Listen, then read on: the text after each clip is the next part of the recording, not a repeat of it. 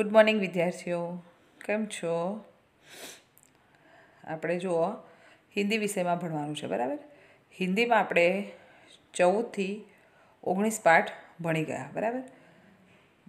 હવે આપણે પાઠ વીસ. આ વિડીયોમાં આપણે પાઠ વીસ ભણવાનું છે, જેનું નામ છે મોર, બરાબર? મોર એ પક્ષી છે, બધાને ખબર છે, અને એ આપણું રાષ્ટ્રીય પક્ષી છે મોર સુંદર પક્ષી છે, મોર રંગબેરંગી પક્ષી છે, બરાબર? બધાને જોવાનું પણ ગમે. અત્યારે પણ આપણા આંગણાની સામે આવી જાય તો આપણને નવાઈ લાગે કે મોટું પક્ષી છે. બરાબર? અને એ રાષ્ટ્રીય પક્ષી છે. એ તો બધાને જ ખબર જ છે. હવે આપણે જોઈએ પાઠમાં. બરાબર? તો જુઓ ચોપડીમાં પાઠ વીસ એટલે કે બીસ. હિન્દીમાં શું કહેવાય? બીસ. પાઠ બીસ, મોર. જેને ગુજરાતીમાં પણ શું કહેવાશે? મોર. અહીંયા ચિત્ર આપેલું છે. મોર તમે બધાએ જોવું જ હશે. બરાબર? જુઓ પહેલાં. મોર ભારત કા રાષ્ટ્રીય પક્ષી હૈ બરાબર ભારત ભારત એ આપણો દેશ છે બરાબર એ બી બધાને ખબર જ હશે આપણા દેશનું નામ ભારત એટલે આપણું એ રાષ્ટ્રીય પક્ષી છે એટલે મતલબ આપણા દેશની ઓળખ કહેવાય એમ કેરી રાષ્ટ્રીય ફળ છે વાઘ રાષ્ટ્રીય પ્રાણી છે તિરંગો આપણો રાષ્ટ્રધ્વજ છે બરાબર આ બધું આપણા દેશની પહેચાન છે ઓળખ છે જેના દ્વારા ખબર પડી જાય કે આ ભારત દેશ છે એમ। આગળ જુઓ, મોર સબસે સુંદર પક્ષી હૈ, બરાબર? એટલે મોર એ બધાથી જ સુંદર એટલે બહુ સરસ દેખાય છે, એટલે સુંદર પક્ષી છે આમ. બધાને ગમે જોવાનું પણ ગમે. રંગબેરંગી એના પીછા હોય એટલે બહુ જોવાનું ગમે એમ આગળ જુઓ. મોર કે પંખ રંગબેરંગી હોતે હૈ, એટલે મોરની પાંખો રંગબેરંગી હોય છે, બરાબર? એની પાંખો. તમને ખબર જ છે, એનું પીછું પણ તમે અમુક રાખતા હોય છે નોટમાં, બરાબર? ખબર હોય તો.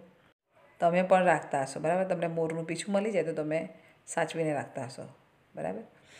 કારણ કે બહુ સરસ લાગે. પછી ઘરમાં સુશોભન તરીકે પણ મૂકે છે બધા, ભરવીને, બરાબર?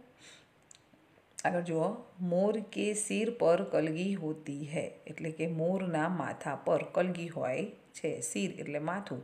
કલગી એટલે જે મુંગટ જેવું આવે છે, બરાબર? એ મોર કે સિર પર કલગી હોતી હૈ. આગળ, મોર બાદલો કો દેખ કર ખુશ હોતા હૈ. બાદલો, એટલે આપણે રોજ, તમે કહેશો કે વાદળ તો રોજ હોય છે બાદળ એટલે વાદળ. વાદળ તો રોજ હોય છે, પણ એવી રીતે વાદળની વાત નથી કરી.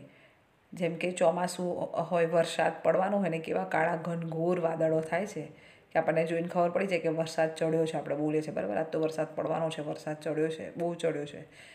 એ બાદ, એ વાદળની વાત કરે છે એમ કે બાદલો આવ્યા છે એમ. એટલે જે વરસાદની મોસમ હોય છે, એવામાં મોર વધારે નીકળે છે એમ. કારણ કે એને નૃત્ય, બરાબર? એને આ પાંખો ફેલાવવાનું બહુ ગમે એમ. એવા મોસમમાં, વરસાદના મોસમમાં એ વધારે ખુશ થઈ જાય છે. કારણ કે એ નાચે પણ છે. એટલે મોર બાદલો કો દેખકર ખુશ હોતા હે. એટલે એ વાદળની વાત છે કે વરસાદ ચડ્યો હોય, વરસાદ પડવાનો હોય એવી મોસમ હોય એમ. એ જોઈને ખૂબ જ ખુશ થઈ જાય છે આગળ મોર ખુશ હોને પર નાચતા હે. જો, એટલે એ એવી મોસમ એને બહુ ગમે, એટલે બહુ ખુશ થાય, એટલે પછી ખુશીમાં એ શું કરે છે? નાચે છે. મોર ખુશ થાય ત્યારે નાચે છે આમ નાચે છે મતલબ અંદર ચિત્રમાં બતાવ્યું છે ને એવી રીતે. જો આમ તમે મોરના પીછા નીચે પડેલા જોયા હશે. પરંતુ એ ખુશ થાય ને ત્યારે બધી જ એની પાંખો આવી રીતે ઊંચી કરી લે, જેમ ચિત્રમાં છે એવું. અને પછી ગુડ ગુડ ફરે એમ. આગળ જો, મોર પંખ ફેલા કર કલા દિખાતા હે, જો, હા, એવી રીતે. આવી રીતે ગોળ આખી બધા જ પીછા ઊંચા કર્યા હોય ને, બહુ જોરદાર લાગે મોર એ સીન બહુ મસ્ત લાગે એમ. એટલે એની કલા બતાવે છે એમ. એમાં પાંખો ફેલાવે છે અને પછી ગોળ ગોળ ફરે, નાચે એટલે એની કલા બતાવે છે. આગળ જુઓ. મોર પીહું પીહું આવાજ કરતા હે, એટલે કે મોર પીહું પીહું બોલે છે એમ. એનો જે બોલે છે, ટ્યાહું ટ્યાહું એ તમે સાંભળ્યું હશે. ખેતરની નજીક રહેતા હોય કોઈ, એવું હોય ને ગામડામાં વધારે જોવા મળે. તો ટેહું ટેહું એનો અવાજ હોય એકદમ. આગળ જુઓ મોર સબ લોકો કો પ્રિય લગતા હે. જો, મોર એવું પક્ષી છે કે લગભગ સબ એટલે બધા જ લોકોને ગમતું પ્રિય પ્રિય પક્ષી છે. મોટાભાગે બધાને જ ગમતું હોય છે. આગળ, મોર કા શરીર ભારી હોતા હે. હવે આટલા બધા પીછા હોય, બરાબર? આગળ એનું મોં અને ડોક જ હોય, પણ પાછળ આખું શરીર એનું પીછાથી ભરેલું હોય છે. એટલે ભાર એટલે વજનદાર પક્ષી છે, બરાબર? આખો પાછળ એટલો બધો ભાર લઈને ફરે છે એમ. એટલું બધું એનું શરીર ભારે હોય છે, વજનદાર હોય છે. મોર બહુત ઊંચે તક ઉડ નહીં શકતા, બરાબર? થોડું થોડું જ એ ચાલ, ચાલતું જ હોય વધારે. ચાલતા જ તમે જુઓ હશે, એક થોડુંક જ એ ઉડી શકે અને થોડું ઉડીને ઝાડ પર બેસે બસ. એ વધારે બીજા બધા પક્ષીની જેમ આકાશમાં ઉડી નથી શકતું, બહુ ઊંચે ઉડી શકતું નથી. કેમ કે એનું શરીર બહુ ભારે છે, એના શરીર પર બહુ વજન છે, બરાબર? ભારી વસ્તુ ક્યારેય વધારે ઉપર ઉડી ના શકે, બરાબર? આપણે આપણે પતંગ ઉડાવીએ છીએ, એ પણ તમે જોજો કે પતંગની દોરાની સાથે પથ્થર કે એવું કશું બંધ દેજો તો નહીં ઉડે, કેમ કે વજન વધી જશે, પતંગ એમને ઉડે, બરાબર? એવી રીતે એનું શરીર વધારે વજનદાર હોવાથી બહુ ઉડી શકતો નથી થોડું સામાન્ય ઉડે છે. જો આટલું જ હતું, આટલું પાઠ પતે છે, ફરી એકવાર કહી દઉં. મોર ભારતનું રાષ્ટ્રીય પક્ષી છે. મોર સબ, બધાથી સુંદર પક્ષી છે. મોરની પાંખો રંગબેરંગી હોય છે. મોરના માથા પર કલગી હોય છે. મોર વાદળો જોઈને ખુશ થઈ જાય છે. મોર ખુશ થાય તો નાચે છે. મોર પાંખો ફેલાવીને કળા બતાવે છે. મોર પીહું પીહું બોલે છે આમ. મોર પીહું પીહું અવાજ કરે છે. મોર બધા જ લોકોને પ્રિય લાગે છે. મોરનું શરીર વજનદાર હોય છે. મોર બહુ ઊંચે સુધી ઉડી શકતો નથી. બરાબર? આ મોર વિશે હતું. આ પાઠ અહીંયા પતે છે આપણો. આટલો છે. જે તમારે નોટમાં લખવાનું છે. બરાબર? ચિત્ર સાથે. હવે સ્વાધ્યાય જોઈએ આપણે આગળ. ચિત્ર દોરવાનું પછી સ્વાધ્યાય લખવાનો. બરાબર? તો જુઓ સ્વાધ્યાય. સૂચના નંબર એક કોષ્ટક સે ઉચિત શબ્દ ચૂન કર વાક્ય પૂર્ણ કરો. એટલે એનું ગુજરાતી છે, કૌંસમાંથી યોગ્ય શબ્દ પસંદ કરીને વાક્ય પૂરું કરો. હવે નીચે મતલબ ખાલી જગ્યા છે એમ. વાક્ય પૂરું કરવાનું એટલે કૌંસમાંથી સાચો શબ્દ મૂકો એટલે વાક્ય પૂરું થઈ જાય. અને બીજી સૂચના આલવી હોય તો ખાલી જગ્યા ભરો, એવું પણ અપાય. પહેલું, મોર ભારત કા ખાલી જગહ પક્ષી હૈ? કૌંસમાં છે રાષ્ટ્રીય અને પ્રાદેશિક. તો જવાબમાં શું આવશે? રાષ્ટ્રીય.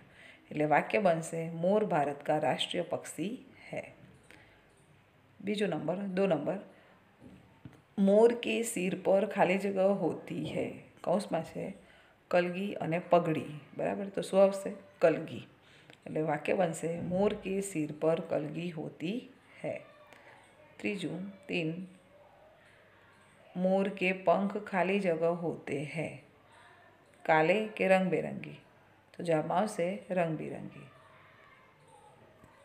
આગળ જુઓ મોર ખાલી જગહ કો દેખ કર ખુશ હોતા હૈ એટલે પર્વતો કે બાદલો શું જોઈને ખુશ થાય છે તો બાદલો એટલે વાક્ય બનશે મોર બાદલો કો દેખ કર ખુશ હોતા હૈ બરાબર હવે જુઓ બીજું दो सही विधान के सामने खरा का चिन्ह और गलत विधान के सामने गलत ખોટા કા ચિહ્ન કરો એટલે ખરા ખોટા છે, બરાબર? ગુજરાતી છે, ખરા વાક્યની સામે ખરાનું ચિહ્ન અને ખોટા વાક્યની સામે ખોટાનું ચિહ્ન કરો. બરાબર? એમાં પહેલું, મોર સબસે સુંદર પક્ષી હૈ, તો શું આવશે? સાચું. બીજું, મોર કાવ કાવ કરતા હૈ, એટલે કે કાવ કાવ કે પીહું પીહું. શું આવશે? મોર તો પીહું પીહું બોલે, એટલે જવાબમાં આવશે ખોટું. ત્રીજું મોર સબ લોકો કો પ્રિય લગતા હે. તો છેલ્લે છે, બરાબર? બધાને જ ગમે છે. જવાબમાં આવશે સાચું. ચોથું, મોર ખુશ હોને પર પીહું પીહું આવાજ કરતા હે. તો એ પીહું પીહું બોલે છે એટલે તમને સાચું લાગે. પણ એવું નથી, અહીંયા આખું વાક્ય વાંચવાનું છે કે મોર ખુશ હોને પર પીહું પીહું આવાજ કરતા હે. એટલે ખોટું આવશે. કેમ કે આગળ શું છે પાઠમાં? મોર ખુશ હોને પર અપને પંખ ફેલાતા હે. બરાબર? એટલે નાચે છે. અવાજ નથી કરતો. એટલે જવાબમાં શું આવશે? ખોટું. અવાજનું તો અલગ છે. અહીંયા ઉપર આવી ગયું કે મોર કાઉ કાઉ કરતા હોય તો ખોટું છે, બરાબર? કેમ કે મોર પીહું પીહું બોલે, એટલે એમાં ખોટું આવે. પરંતુ ખુશ થઈને એ પીહું પીહું અવાજ નથી કરતો. ખુશ થઈને પંખ પાંખો ફેલાવે છે, એટલે જવાબમાં આવશે ખોટું, બરાબર? તો જુઓ આપણું સ્વાધ્યાય પણ અહીંયા પતે છે, એટલે આખો પાઠ અહીંયા પતે છે. હિન્દીમાં પાઠ નાના જ હોય છે, પણ આ ખાલી જગ્યા ખરાખોડા બધું પરીક્ષામાં પૂછાશે એટલે તમારે એની તૈયારી કરતું રહેવાનું છે, બરાબર? હવે જો વીસમો પાઠ મોર પત્યો બરાબર? હિન્દીમાં આપણે હવે ભાઈ ચૌદથી વીસ પાઠ પત્યા નાના છે એટલે એકવીસમો પાઠ પણ આપણે આ વિડીયોમાં જ જોઈ લઈશું, બરાબર? એકવીસમાં પાઠ એકવીસ, જેનું નામ છે હિન્દી ભાષા. એટલે આપણા દેશની રાષ્ટ્રીય ભાષા, બરાબર? હિન્દી ભાષા, જે બધાને જ બોલતા આવડે. તો જોઈએ ચોપડીમાં પાઠ એકવીસ હિન્દી ભાષા, જેને ગુજરાતીમાં હિન્દી ભાષા જ કહેવાશે, પરંતુ લખાશે. બરાબર? અલગ. ગુજરાતીમાં લખો તો ગુજરાતીના અક્ષરો પાડવા પડે એ રીતે. હવે આ કવિતામાં જે લખેલા છે, જે શબ્દો, મતલબ અઘરા શબ્દો હોય, જેને શબ્દાર્થ કહેવાય. બરાબર? શબ્દનો અર્થ જેમ ગુજરાતીમાં આવે, એવી રીતે હિન્દીમાં પણ આવે. એટલે પહેલાં અહીંયા શબ્દાર્થ આપેલા છે, પરંતુ આપણે ભણતા ભણતા સમજીએ. બરાબર?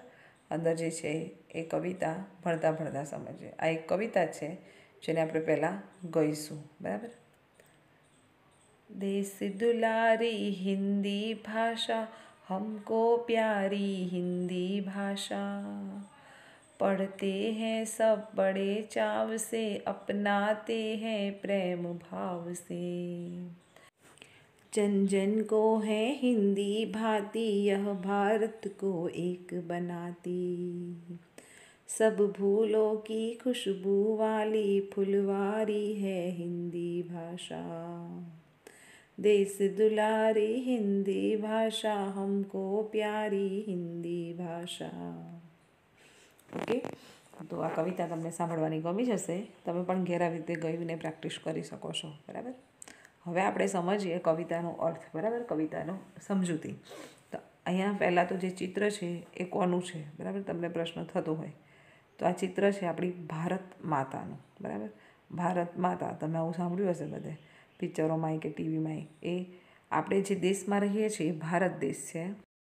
એટલે એ ભારતને માતા તરીકે સંબોધવામાં આવે છે, બરાબર? ભારત માતા, બરાબર? હવે એ ભારત માતા એક સ્ત્રી તરીકે મતલબ અને એની પાછળ જે નકશો છે એ આપણા ભારત દેશનો નકશો છે, એ તો તમે જોયો જ હશે. અને હાથમાં ઝંડો લઈને ઊભેલા છે ભારત માતા. રાષ્ટ્રધ્વજ છે, બરાબર? જે આપણા દેશની ઓળખ છે, પહેચાન છે. છવ્વીસમી જાન્યુઆરી, પંદરમી ઓગસ્ટે ફરકાવવામાં આવે છે, બરાબર ઝંડો? તો જોઈએ ભારત માતા. આપણા ભારત દેશની હિન્દી ભાષા વિશે વાત કરેલી છે આ કવિતામાં. કે આપણે ગુજરાતી બોલીએ છીએ, તો આપણે ગુજરાત આપણે ગુજરાત રાજ્યમાં રહીએ છીએ, તો ગુજરાતની માતૃભાષા છે ગુજરાતી. પરંતુ તમે બીજા કોઈ રાજ્યમાં જાઓ અને ગુજરાતી બોલો, તો એમને સમજ નથી પડતી. તેવી જ રીતે ઇંગ્લિશ ઇંગ્લિશ પણ બધાને સમજ નથી પડતી. એવી બધી જ ભાષાઓ મરાઠી હોય કે પંજાબી હોય, બધાને ખબર નથી પડતી. પરંતુ હિન્દી ભાષા એવી છે કે બરાબર બોલતા ના ફાવે તેમ છતાં બોલી બી શકે છે અને સામેવાળું બોલતું હોય તો એને સમજી પણ શકે. છે. બરાબર? તમે આખી દુનિયામાં કોઈ જ ખૂણામાં જાઓ, કોઈ પણ ખૂણામાં જાઓ, તો હિન્દી ભાષા બધાને ખબર પડતી હોય છે. બરાબર? તમે ફરવા ગયા હોય તો તમે જોયું હોય, રાજસ્થાન ગયા હોય, મહારાષ્ટ્ર ગયા હોય, બરાબર? તો એમની ભાષા આપણે બોલી નથી શકતા અને આપણી ગુજરાતી એમને ખબર નથી પડતી. તો આપણે આપણી વાત કહેવા માટે હિન્દી ભાષાનો ઉપયોગ કરીએ છીએ આ રીતે હિન્દી ભાષા એ કેવી ભાષા છે? રાષ્ટ્રીય ભાષા. બરાબર?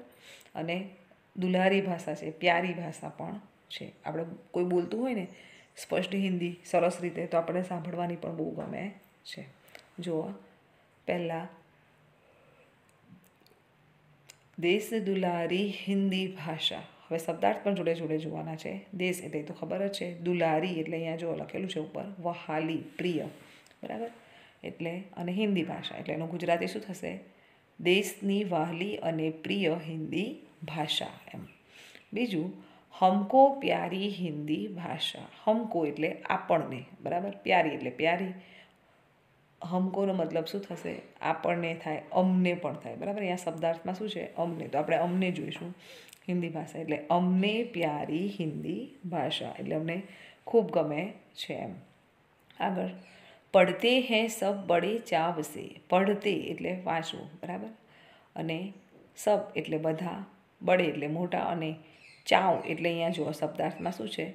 શોખ, પ્રેમ, બરાબર? શોખ, પ્રેમથી એમ.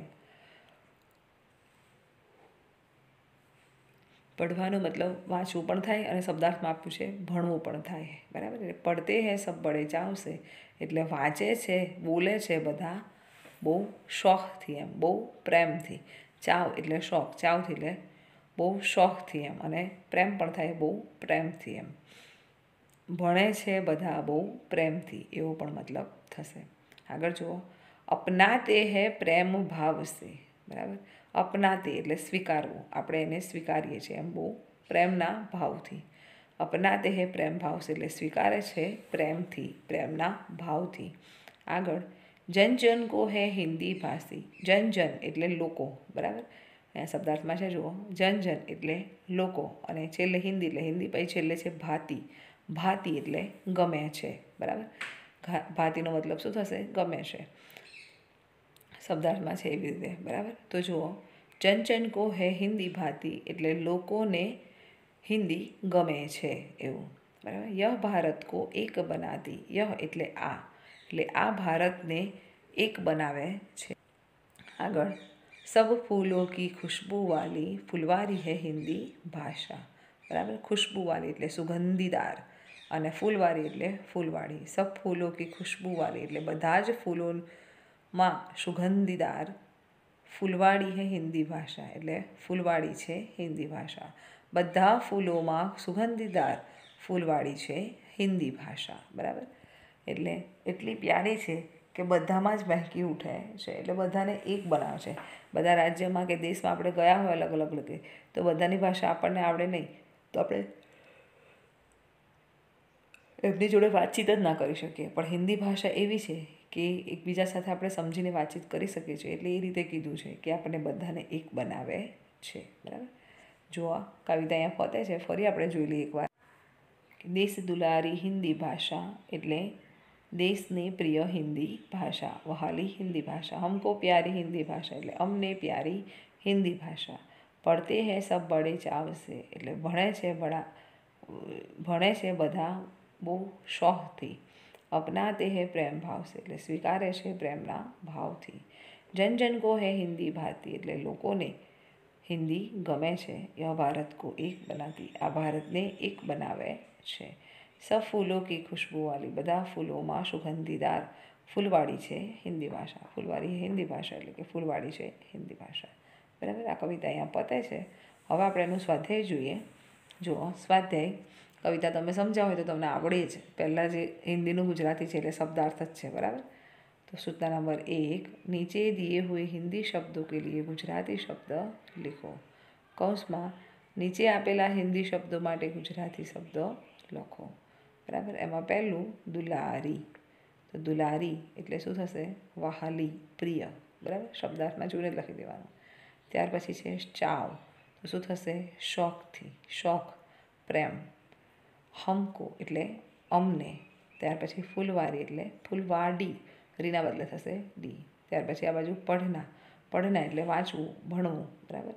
અને પછી છે યહ તો એનો મતલબ શું થશે? આ. બરાબર? આ એટલે ય, એ નજીકની વસ્તુ માટે વપરાય આ. આ હિન્દીનું ગુજરાતી. આ બધું પરીક્ષામાં પૂછાશે એટલે તમારે સમજવાનું છે ને, યાદ પણ કરવાનું રહેશે. સૂચના નંબર બે, એટલે કે દો, નીચે પૂછે હુએ પ્રશ્નો કે ઉત્તર લીખો. નીચે પૂછેલા પ્રશ્નોના ઉત્તર લખો. બરાબર? આ પીડીએફમાં લખેલા હશે. ના આવડે તો પીડીએફમાં જોઈને પછી લખી દેવાના, મોકલાવું ત્યારે પણ હમણાં સમજીને તમારે લખવા હોય તો એ રીતે પણ લખાશે. પ્રશ્ન એક हिंदी देश की कैसी भाषा है तो हिंदी देश की प्रिय भाषा है કે દેશ દુલારી બરાબર એટલે વહાલી ભાષા છે બીજું लोग हिंदी को कैसे पढ़ते हैं तो लोग हिंदी को बड़े चाव से पढ़ते हैं પણ એના કરતાં बड़े शौक से पढ़ते हैं એવું લખી દેવાનું ત્રીજું हिंदी भाषा क्या काम करती है તો હિન્દી ભાષા સબકો એક બનાતી હે, બરાબર?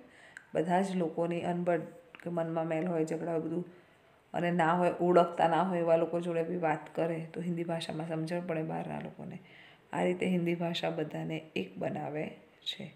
હિન્દી ભાષા ક્યાં કામ કરતી હે? તો હિન્દી ભાષા સબકો એક બનાતી હે. આવી રીતે જવાબ આવે, બરાબર? આપણું સ્વાધ્યાય પણ અહીંયા પતે છે, આખી કવિતા પતે છે. ઓગણીસ અને વીસ, બે પાઠ આપણે આ વિડીયોમાં જોયા, જેની તૈયારી કરવાની છે અને નોટમાં લખવાનું રહેશે. ના સમજ પડે તો પૂછી શકો છો. Okay bye thank you